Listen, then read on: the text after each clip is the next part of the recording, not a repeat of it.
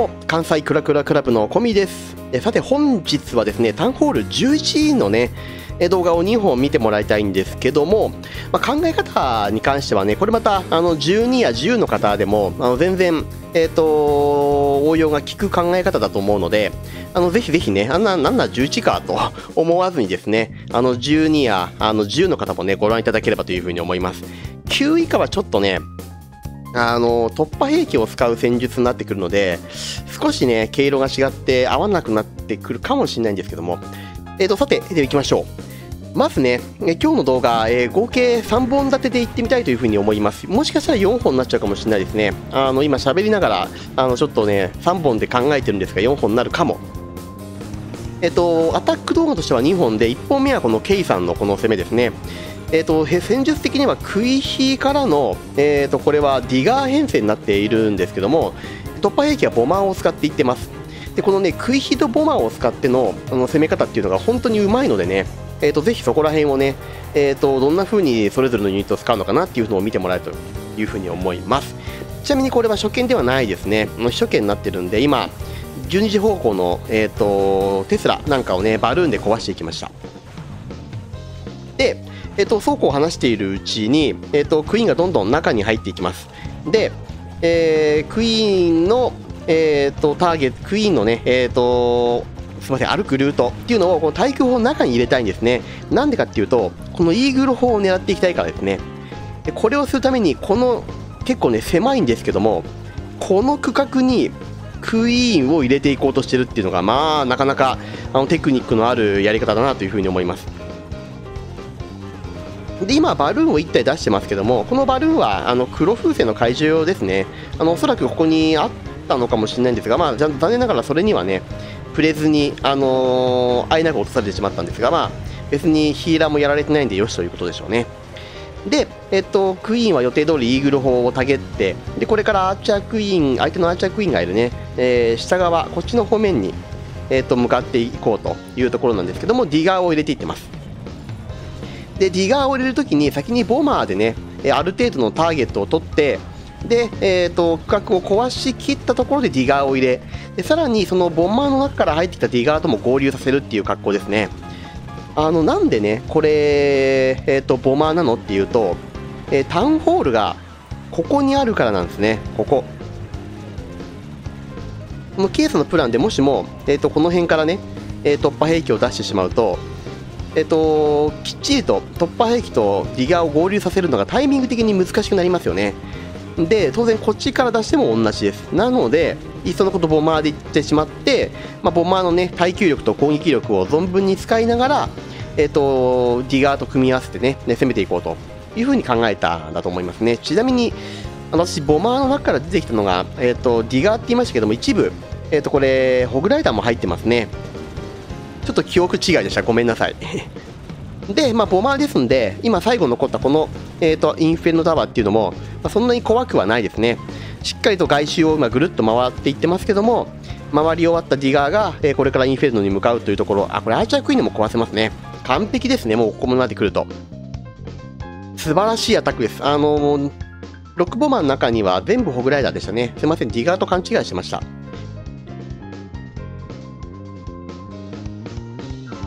で、えっ、ー、とね、もう一回この攻め、あの、プランニングからおさらいしていきたいというふうに思います。で、えっ、ー、と、まずこっち側っていうのはしっかりね、えっ、ー、と、ユニットを使ってカットしていきながら、クイーンをこう歩かせますね。で、この壁焼け、まずここ、あの、注目点の、えっ、と、一つ目になります。しっかりね、壁の中に入ってイーグル砲を叩いていくと。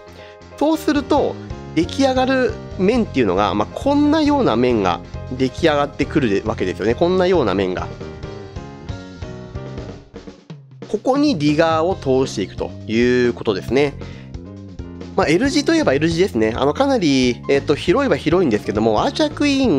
ンが壊してくれてるこの上側のエリア、ここのところっていうのが、こっち側と独立してるのでね、あの上半分のこっちを削ってあげれば、まあ、下半分っていうのは割とこう、ユニットを流しやすいようなね、格好が勝手に出来上がるような配置になってますね。で、えっ、ー、と、またね、えー、細かいところ、動画を流しながら見ていきたいと思いますので、まずは再生していきましょうかね。ここもね、結構うまいんですよ。まず、ジャイで竹取ってから、ウィザードを出していって、大砲を壊しますね。なんで大砲を壊すかっていうと、この仕事をさせたいからですこれボーラーがタウンホールを竹取りながら奥の耐久砲を壊しますねこれがまたナイスな仕事こうすることによってクイーンがそれるリスクっていうのはかなり減りますよね。この格好を作るために結構ふんだんに枠を使って序盤のクイヒー用のサイドカットをしている。この点お見事ですね。あの全然あの無駄になってないと思います。これかなりいい仕事したと思いますねこれ。でえーと、アーチャークイーンはこれから、えー、一時方面かな。右側の方にこう歩いていってどんどん施設の破壊をねそのまま進めていくんですけども。えっ、ー、とこれまずウォールバスターもしっかりこの小爆弾確認しますね。し終わってからジャイでタゲ取ってからのウォールブレイカー。この壁焼きもうまいですね。もうかなり確実な開き方をしています。ジャイを出してすぐウォールブレーカーをねパッパッと切り替えるっていう、まあ、多分これ考えてたプラン通りにがっつりはまったんでしょうね。でえーと、クイーンがやっぱねあのプランからそれてしまうと手がおかしいとこ行ってねガタガタになっちゃうんですけども多分今回のこの K さんのアタックはねあの考えてたプランがそのままはまったんだろうと思います。で、えーと、クイーンがしっかりねイーグル砲の方に行って、えー、ポイズンも打って、えー、レイジも使ったところでディガーを始めますね。ここまで来ればまあクイーンがやられることはもうないということですね。でバーバリアンキングで、えー、3時から6時にこう歩かせて壁の外のえー、防衛施設をカットしながら、えー、ターゲットを集めていきますね。で、えーと、ボマーの中からは、えー、ホグライダー。で、えー、ディガーと合流してでホグディガーの形になってガンガン攻めていきますね。あのこれ結構ねホグとディガーの組み合わせって割と悪くないんですよね。あのホグライダーがどんどん防衛施設を壊しながらディガーも壊していきます。でディガーはただこういうねダクエリのタンクとかそういうのにこう捕まってしまうんですけどもその間にホグライダーはどんどんどんどん前に前に行きますよね。行ってくれてでもディガーとはこう離れないんですよね。しっかり外周のカットを今キングやってますけども、まあ、こんな形でカットができていれば、えー、と防衛施設はまあ基本ホグ。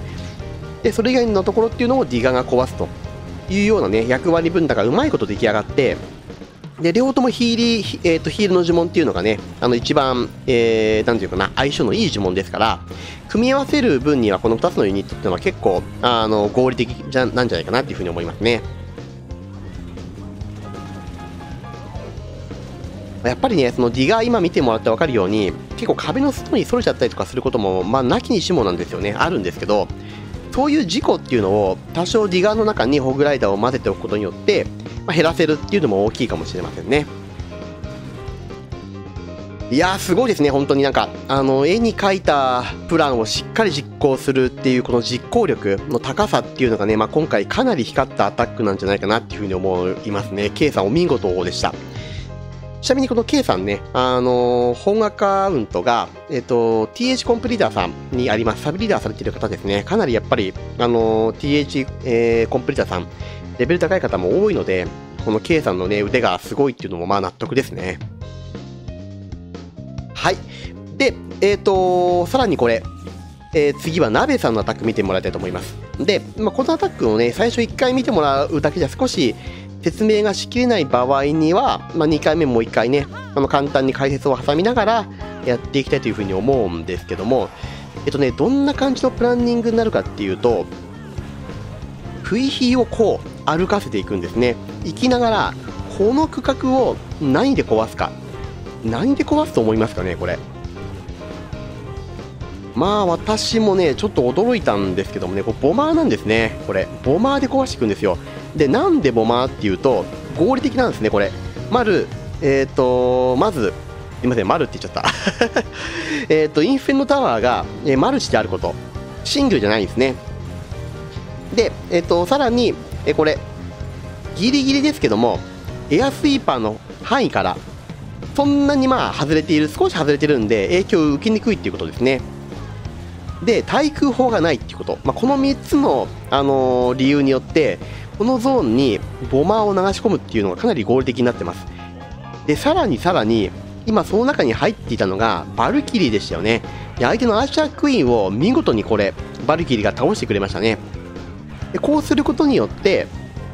見てくださいこれ、まあ、こんな格好の区画処理ができて残ったここを L 字回していくっていう、まあ、こんなねプランが描けるようになってきます。ただえ結構ねそうは言っても、うんと、L 字のその幅が広いのでホグライダーがばらけそうになるんですが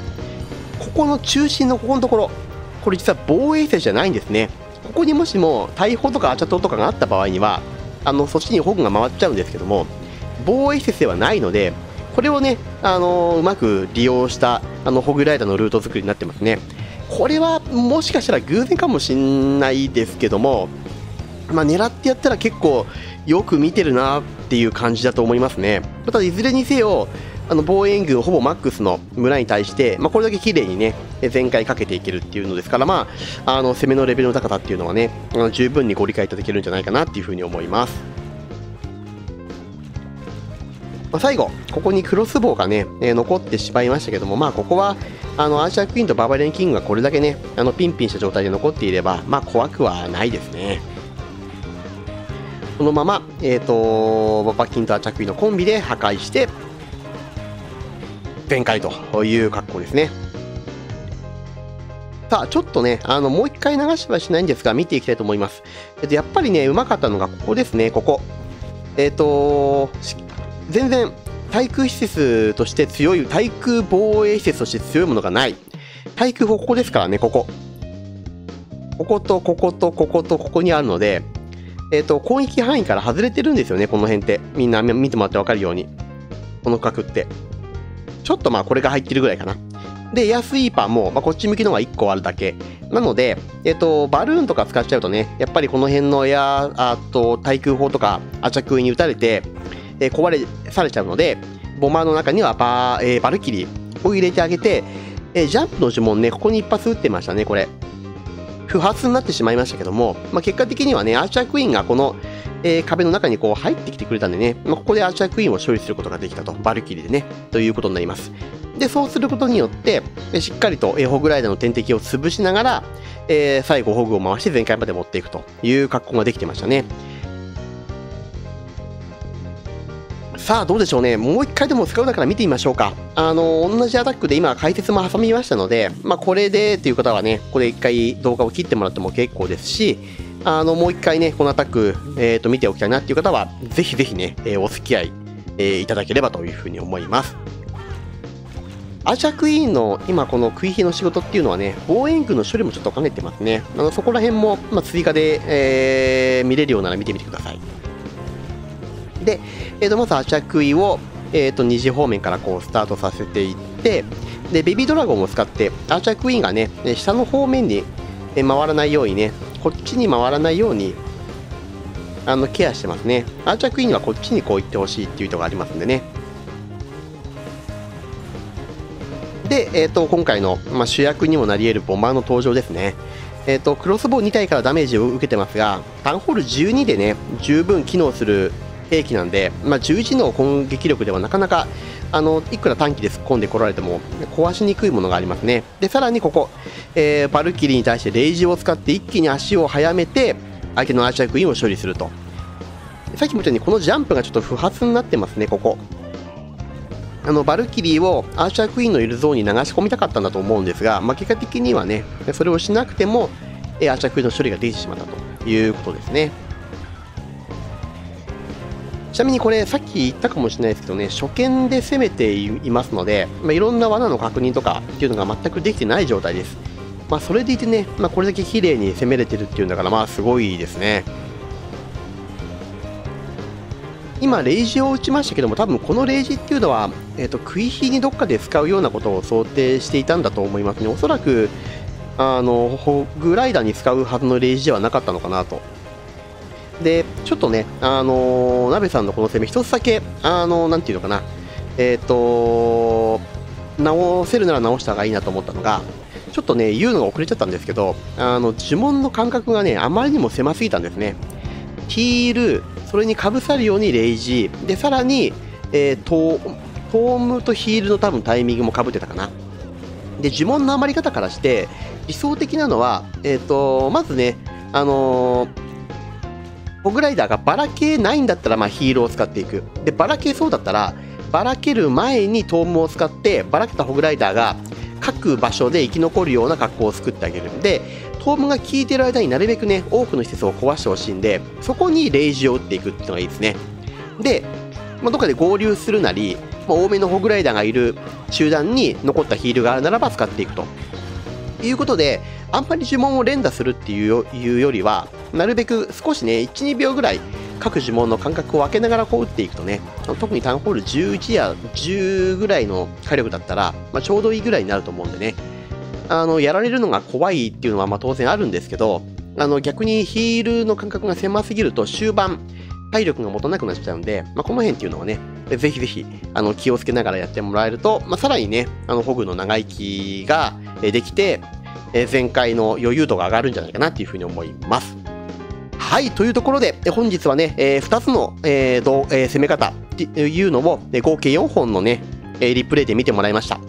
よろしければグッドボタン、チャンネル登録、そして今後もご視聴どうぞよろしくお願いいたします。はい、では本日はこの辺りで失礼します。バイバイ。